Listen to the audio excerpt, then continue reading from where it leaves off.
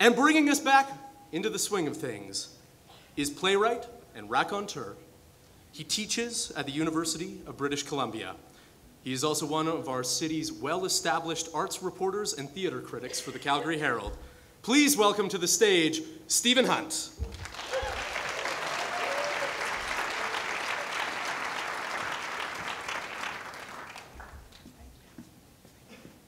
Hi.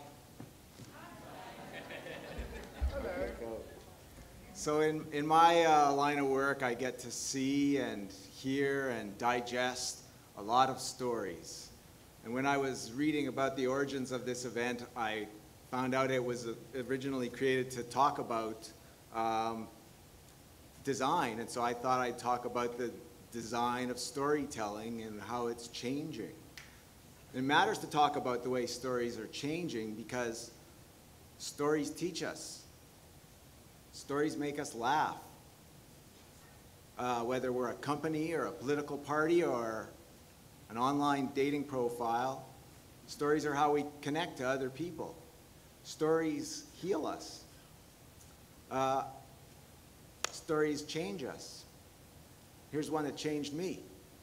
It's 1991, and I'm a wannabe playwright living in New York, and I'm on a road trip to New Orleans to go to Mardi Gras with four other people in a small car.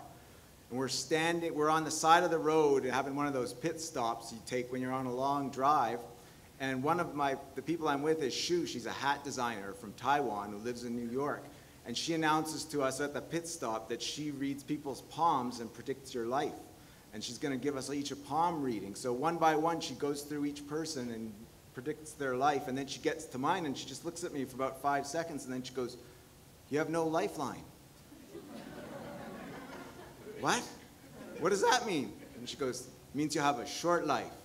In short, but interesting. Which made me want to go to New Orleans even more. but the way stories are being told is changing. It's uh, jam comes out of the way we cross disciplines. And right now, like we just had Downstage Theater did Rihanna Boy, a play that was done online. So instead of being going to see the performance, you logged on to see it. Theater Junction has plays where contemporary dance breaks out in the middle of it. It's becoming a big jam of disciplines that, that uh, are changing the way we tell stories to each other. And here in Calgary, we have had One Yellow Rabbit doing it for 30 years, so in a way we kind of have a, a, leg up on the new storytelling. I guess what's different about it is that we have new media speeding up and evolving the whole process. Um, so uh, I totally forgot to, where I'm going. um, yeah, I'm going to New Orleans. oh, yeah, when I started writing this 10 days ago, uh, the story of Alberta got completely rewritten in the interim, you know, and it started with the NDP taking that election, and it reminded me of what politicians do, which is they try to come up with a story. And that story here had always been that the conservatives were the, what, the, the safe landing place for average voters, and they tried to label the other parties extremists, and it worked in 2012. And then this time, they totally, the NDP turned it on its head with the hashtag extremists thing, and they changed the whole story of the election in a Twitter minute.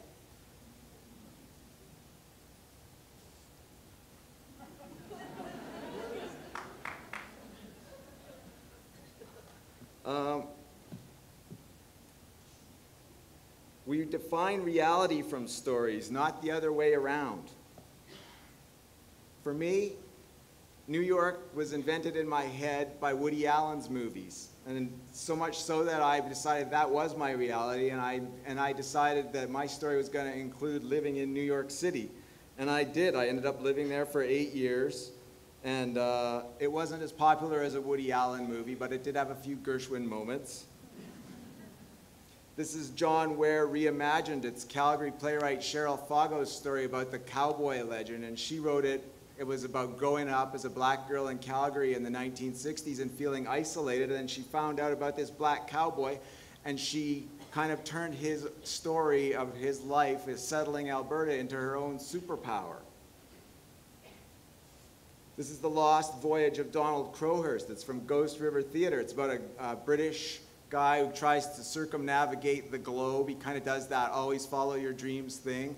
And he abandons his four children and his wife, and he ends up cheating on the trip and then dying. So don't always follow your dreams.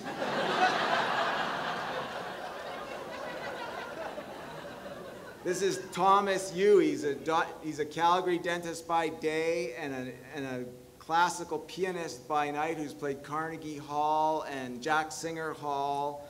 And to my mind, he's the perfect blend of, of fantasy and reality. Bodies can tell as much of a story as words. So can images. So can sound and light and even location. Um, there's, this, there's a play that just closed called Shortcut to Nirvana that was just set in a yoga, it was in, produced in a yoga studio in Calgary so that, so that they've also done by Swallow a Bicycle and they've also produced a play in a coffee shop. And, but when you take the story out of a conventional venue, it completely changes the experience and it attracts different people to what you're selling too. So it's a good way to touch base with new audiences. Uh, new storytelling has changed our idea of heroes and villains. Now we have, we have uh, anti-heroes who are likably despicable and bad guys you can't help but in, help enjoying. And I just saw Age of Ultron and I couldn't even distinguish sometimes. I run marathons and there's nothing like the distance between 30 and 40K in a marathon to test the idea of the power of a story because your body's telling you one thing and your legs are telling you one thing, and in your head you have to come up with a story that tells you something different. So at the end of the day, whether you're a company or whether you're a political party or whether you're a person or a writer trying to sell it, you better have a good one. Because ultimately, your story is all you have. Thank you.